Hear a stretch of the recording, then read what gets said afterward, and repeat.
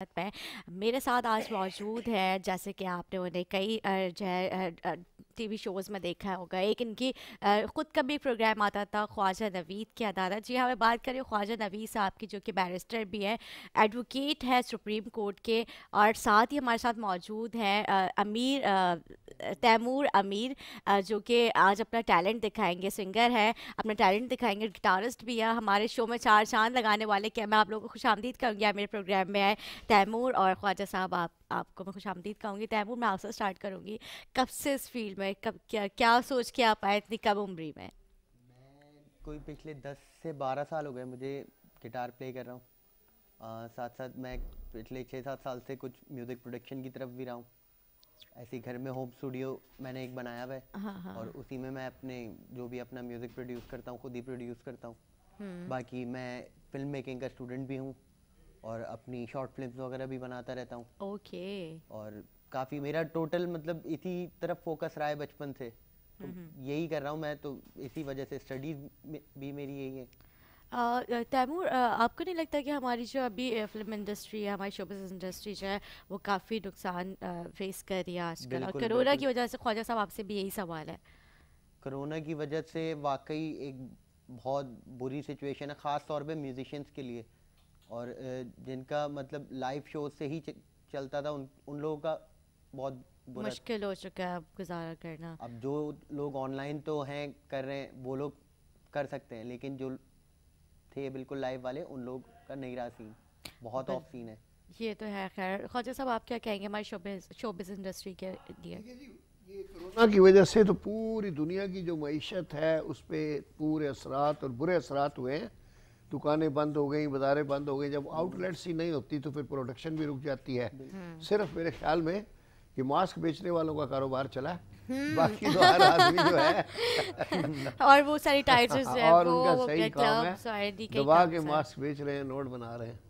सही बात है ये तो हमारे नया टैलेंट नज़र नहीं आ रहा है? नया टैलेंट हमारा नहीं नज़र आ रहा। नया टैलेंट नहीं माशाल्लाह हम बड़े टैलेंटेड लोग हैं ऐसी बात नहीं है। है तो लेकिन इस हाँ। तरह से हम अब आगे नहीं है उनको किया जा रहा क्यों? क्या वजह है ऐसी?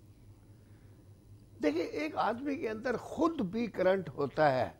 ज़रूरी नहीं है कि आपको मीडिया वाले या कोई लोग या शोबिस वाले आपको प्रमोट करें। मुझे याद है आज से तीस चालीस साल पहले ये जो था ईसा खेलवी तो कोई टीवी वगैरह वाला इसको बुलाता ही नहीं था। तो पहले ट्रक ड्राइवरों ने और उन्होंने इसकी केस्टें लगानी शुरू की जो अच्छा। मियाँ वाली के थे। और वो इतनी पॉपुलर हुई कि पता नहीं कोई ट्रक ही ऐसा नहीं था जिसमें ईसा खेलवी की नाव आखिर मजबूर हो होके पीटीवी होता था उस ज़माने में। और वहाँ हम्म। बड़ी मनोपलियाँ थी बड़ी सियासत थी किसको बुलाना है किसको नहीं बुलाना। लेकिन वो इतने मजबूर हो गए कि वो बंदा इतना पॉपुलर हो गया कि उन्होंने खुद उसको बुलाया चाहे बेदिली से बुलाया हो। और आहिस्ता आहिस्ता उस बंदे ने अपना इतना बड़ा मुकाम बना लिया। कि फिर इमरान खान भी उसको साथ लेके जलसों में वो गाता था कि आएगा इमरान खान ते बने दी पूरी हम्म। दुनिया दी अब तो इनके गाने के बगैर जलसे ही नहीं होते। तो लोग टैलेंट इसी तरह ये जो इब्रार आया था इब्रारुल हक। इब्रारुल हक वो भी एक खैर वो पढ़ा लिखा आदमी था लेकिन उसने भी जो है खुद ब्रेक थ्रू किया। उसने वो कौन सा अपना कोई गाना गया था बड़ा मशहूर था उसका टिकट कटाओ लाइन बनाओ। हाँ भाई। वो ऐसे वायरल हो गया था वो गाना। के बस कोई नहीं जो नहीं भी जानता था इब्रार को हम्म। तो वो भी पहचान गया उसको। सब अपने टिकट कटा के लाइन बनाने हम जैसे लोगों ने भी जाके वो गाना सुना और देखा। अच्छा। तो बात ये है कि टैलेंट हो ना हम्म। तो खुद ब खुद ऊपर आ जाता है। बिल्कुल। ये बात है। तैमूर आप कोई किसी को ला नहीं सकता। देखिए जिसमें दम नहीं होता ना अमिताभ हम्म। बच्चन ने अपने बेटे को प्रमोट करने की कितनी कोशिश की है। बड़ा माल खर्चा है उसने दस फ़िल्में बना दी काश भी करवाया। मगर वो बच्चा जो है अमिताभ बच्चन नहीं बन सका। हकीकत है। वो और अमिताभ बच्चन गरीब आदमी का बच्चा था खुद अमिताभ बच्चन बन गया। तो जैसे दिलीप कुमार था तो क्या था उसका भी कोई पेशावर से गया था दिलीप कुमार बन गया। हम्म। ठीक है कोई आपकी मदद करता है हाथ पकड़ता है वो भी अल्लाह की तरफ़ से होता है। अल्लाह उस बंदे के दिल में डाल देता है कि तुमने इस बंदे को प्रमोट करना है। हम्म। लेकिन बंदा जो है उसको सब कुछ खुद करना पड़ता है। ये समझे कि कोई फीडर बना के आपके मुँह में डाले वो सिर्फ़ आपकी माँ ही डालेगी। बिल्कुल। ये तो है। तैमूर आगे क्या प्लान्स है? अब क्योंकि आपको पता है जिस तरह से आपने कहा कि कोरोना की वजह से हम सिंगर्स जो है गिटार्स जो उनको जो है एक क्योंकि कॉन्सर्ट्स वगैरह में आप लोग जाते थे अब आपको पता है सोशल डिस्टेंसिंग की वजह से वो चीज़ें तो बिल्कुल ही बंद कर दी गई हैं गैदरिंग्स वगैरह करना। तो अब आगे आप किस तरह से आप लोग चलेंगे हम लोग इस तरीके से अभी फ़िलहाल काम कर रहे हैं जैसे मैं हूँ अब मैं एक फ़िल्म मेकिंग का स्टूडेंट भी हूँ। हम्म, तो अब ज़ाहिर सी बात है फ़िल्म का एक बहुत बड़ा हिस्सा होता है साउंड म्यूज़िक हम्म, हम्म, तो मैं अपना म्यूज़िक अपनी ही फिल्म्स वगैरह में उसमें यूज़ करता हूँ। तो बेटा मैं आपको मशवरा दूँ पूरा काम- आजकल। सॉरी आपकी बात मैंने काटी है। मुझे अचानक एकदम आपकी बात से ख्याल आया कि आपका आजकल के दिनों में चूँकि आप फ़िल्म मेकिंग भी खुद कर रहे हैं तो आप अगर थोड़ी शायरी या किसी अच्छे शायर से लिखवा के बिल्कुल। तो कोरोना के ऊपर छोटे छोटे गाने बनाएँ। और चूँकि आजकल कोरोना का मौसम है तो आपका गाना जैसे ही व्हाट्सएप पे आएगा सारे लोग एक दूसरे को भेजना शुरू कर देंगे। जैसे वो किसी बंदे ने इंडिया में शायद किसी ने किया ना उसने बनाया पुराने गाने के एक मुद्दत से कोई मेरे घर में ना आया ना गया। अच्छा। हाँ तो इतना पॉपुलर है वो मुझे अमेरिका से लोग भेजते हैं। अच्छा। इंडियन गाने के ऊपर किसी बंदे ने बना दिया है। सही हमारे पाकिस्तान में खैर टैलेंट की तो फासला पता नहीं दोनों में मिटाया ना गया। एक मुद्दत से कोई मेरे घर में आया ना गया तो कोरोना पे बनाया। तो आप छोटे छोटे गाने लंबा तो देखिए आजकल किसी का टाइम है ही नहीं। तो तीन शेरों का बस गाना बना दो जो थोड़ा मजाइया भी हो और उससे आपकी गुलकारी चमक जाएगी। गुलकारी के साथ साथ एक जो मैसेज आप देना चाहते हैं हमारी जो नई नस्ल है हमारी आवाम को तो वो भी आप उन तक पहुँच जाएगा। नैबूर आप अपनी बात जो है कंटिन्यू करें। आप कह रहे थे फिर हमारी मैं सॉरी वो मैंने काट दी थी। कोई मसला नहीं है, मैंने इसलिए फ़ौरन कर दिया था कि फिर मुझे नहीं नहीं मैं भी आपकी बात सुनने लग गया था। हाँ नहीं मैं इसलिए कि मैं भूल भूल भूल जाऊँगा मैंने इसलिए बीच तो में कह दिया। मैं यही कह रहा था कि अपनी जो हम लोग अभी अपनी प्रोडक्शंस कर रहे हैं मेरा इन फ्यूचर यही मूड है कि मेरी एक अपनी प्रोडक्शन हाउस हो जिसमें मैं ऑडियो और वीडियो दोनों खुद प्रोड्यूस करूँ।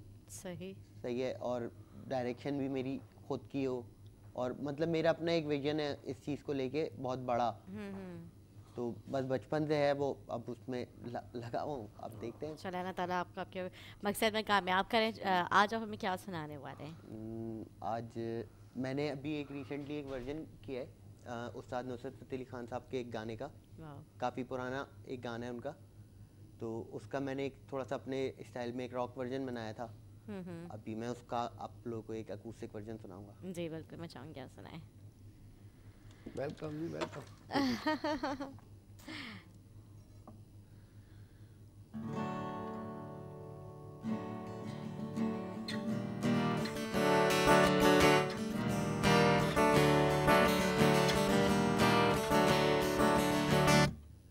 फिरते सबके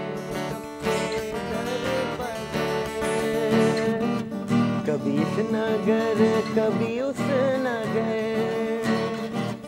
एक दूसरे के हम सफ़र। मैं और मेरी आवाज़ मैं और मेरी आवाज़। मैं और मेरी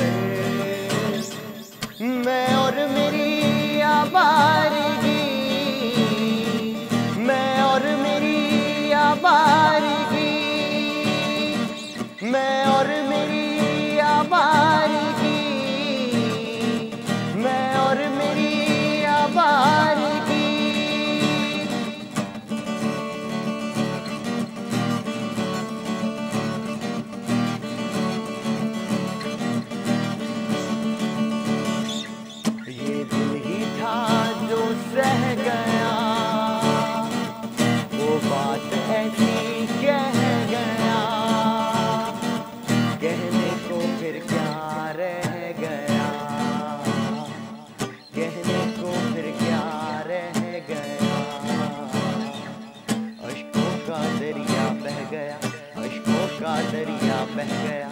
जब कह के वो दिल भर गया। तेरे लिए मैं मर गया। रोते हैं उसको रात भर। मैं और मेरी आवारगी मैं और मेरी आवारगी मैं और मेरी आवारगी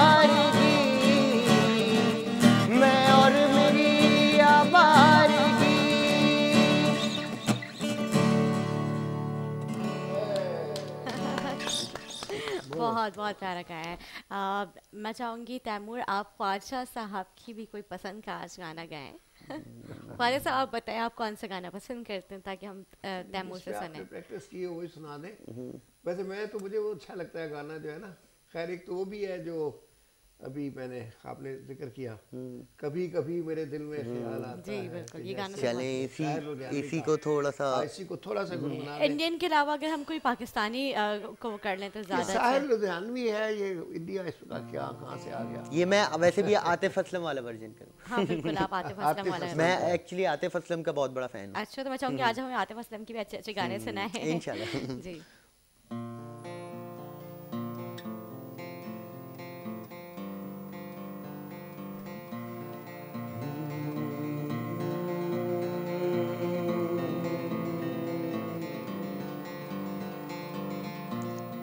कभी कभी मेरे दिल में ख्याल आता है।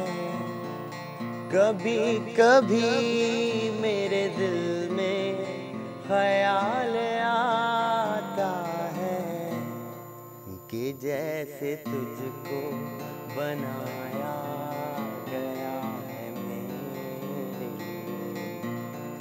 कि जैसे तुझको बनाया गया है मेरे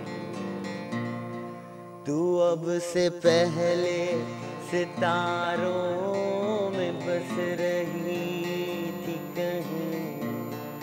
तू अब से पहले सितारों में बस रही थी कहीं। तुझे जमी पे बुलाया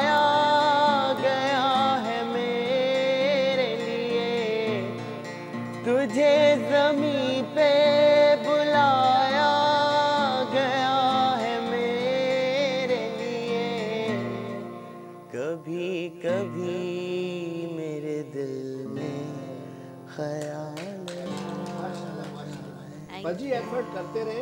आपका रोशन है मुस्तकबिल। अल्लाह ताला करेगा। आप बहुत तरक्की करेंगे और हमारी दुआ भी आपके साथ है और सुबह सुबह की दुआ तो लगती भी है। बिल्कुल सही बात है। मैं चाहूँगी तैमूर आप मुझे आतिफ असलम का कोई अच्छा सा गाना सुनाएँ। आतिफ असलम का मेरा फेवरेट गाना उसका सबसे पहला गाना। हम्म, कौन सा? आदत। मेरा सबसे फेवरेट गाना है। वाह।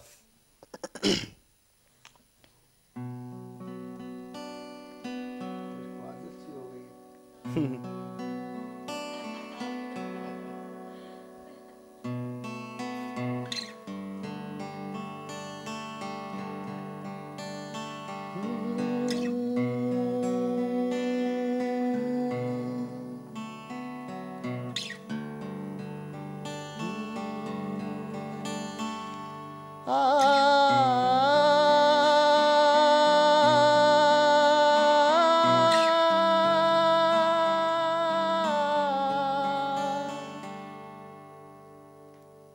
जाने कब से उम्मीदें कुछ बाकी है। मुझे फिर भी तेरी याद क्यों आती है? न जाने कब से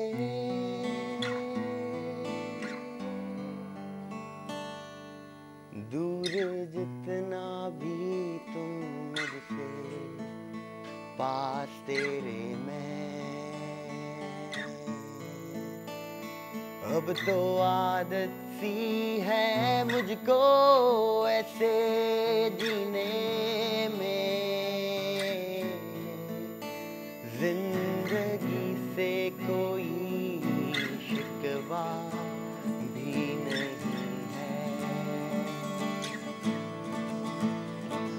तो ज़िंदा हूँ मैं इस नीले आसमां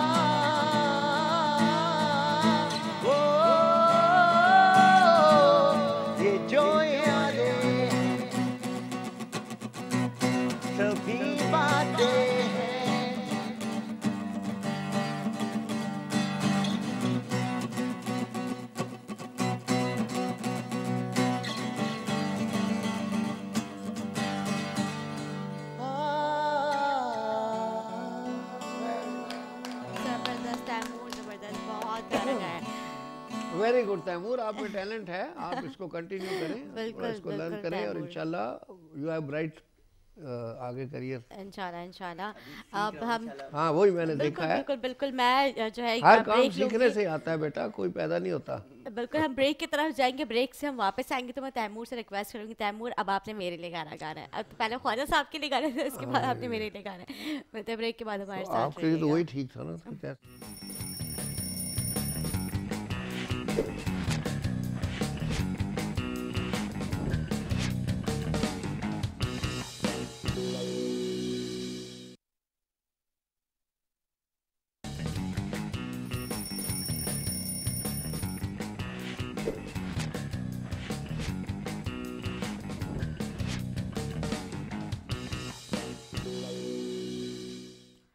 वेलकम बैक नाजरीन वेलकम बैक मैं ख्वाजा साहब आज आपसे मैं एक सवाल करना चाहती हूँ। हमारे यहाँ जो टैलेंट है उसकी कदर क्यों नहीं की जाती? जिस तरह से आप देखें तैमूर ने कितना प्यारा गाना गाया कितने प्यारे गिटारिस्ट हैं। इनको तो ऐसे हमारी जो यूथ है जो आगे बढ़ना चाहती है उनको तो मौका देना चाहिए बल्कि आगे जो हमारे जो बड़े सिंगर्स हैं जो गिटारिस्ट हैं उनको तो चाहिए कि उनको अपने साथ रखें उनको उनकी हौसला अफजाई करें उनको बुलाएँ। इस तरह से क्यों नहीं करते लोग वो कहते हैं जी ये कंपटीशन में आ जाएगा साल बाद तैयार होकर सामने खड़ा हो जाएगा। लेकिन मैं आप लोगों का थैंकफुल हूँ कि आपने इस बच्चे को मौका दिया है। नहीं बिल्कुल और और चैनल वालों को भी अगर अच्छा लग रहा है तो मैं कहूँगा कि वो भी इसको मौका दें ताकि इसी तरह फिर लोग आगे बढ़ते हैं। किसी को इनक्रेज करना चाहिए। सही बात है। हाँ वो मेरे ख्याल से जो इनके सीनियर्स जो होते हैं वो चाहते हैं कि हमारा वो स, उनको समझता हो कि हमारे स्पेस ना ये ले जाए। यही ना। हमारी वैल्यू कम ना हो जाए। तैमूर मैं आपसे रिक्वेस्ट करूँगी आप मेरे लिए कोई गाना सुनाएँ आज। मैं आपके लिए और आपका जो शो है बाखबर पाकिस्तान ये जितने लोग बाकर देखते बा- हैं। कराची बाकर कराची। सॉरी बाखबर कराची जितने भी लोग देखते हैं सबके लिए थैंक यू थैंक यू हम के ट्वेंटी वन है ना कराची है। जी।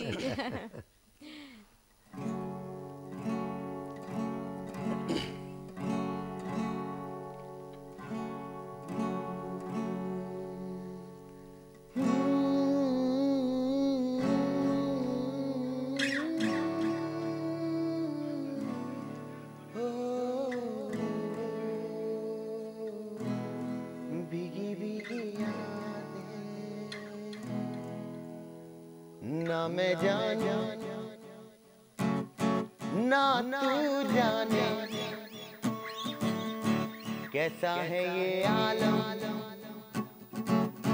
कोई जाने फिर क्यों है ये तन्हाई? कैसी है ये रुसवाई? गुम हो गए क्यों?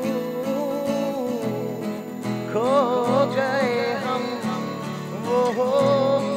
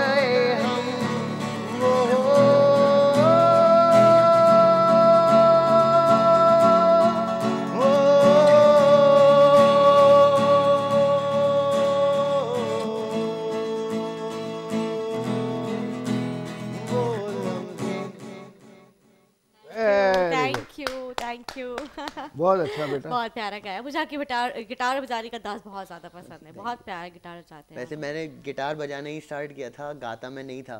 अच्छा। गाते गा बजाते बजाते मैं बस गा लेता हूँ। अच्छा बजाते बजाते गा सिंगर बनी। वैसे मैं इतना कोई खास सिंगर नहीं। अच्छा मतलब वॉशरूम सिंगर टाइप थे आप पहले। वॉशरूम में गुनगुनाया करते थे। अब वो यही होता है जो हमारे जो पाकिस्तानी सिंगर्स हैं उनसे उनकी पिछली स्टोरी सुन लो। तो बोलते हम बाथरूम में बैठे बैठे गाने गुनगुना दिया करते थे। लेकिन फिर अब वो माशाल्लाह अब पूरे पूरे कॉन्सर्ट्स कर रहे होते हैं। यही होता है शुरुआत होती है फिर आप एक माशाल्लाह स्टार बन जाते हैं। Thank you so much Taimur आप आए आपने बहुत ही प्यारे प्यारे से हमें गाने सुनाए गिटार किया। आपने ख्वाजा साहब मैं आपकी भी बहुत शुक्रिया अदा करूँगी आप आए बहुत और जो है आपसे तो अगर मैं गुफ्तु सिलसिला जारी रखूँगी। और जो है Taimur thank you so much आप जाते जाते कोई हमारी यूथ को पैगाम देना चाहते हैं? बस यही है कि जी जियो और जीने दो। जियो और जीने दो। इसी के साथ अब हम एक ब्रेक लेंगे। ब्रेक के बाद वापस आएँगे। एक नए मेहमान के साथ हमारे साथ रहिएगा।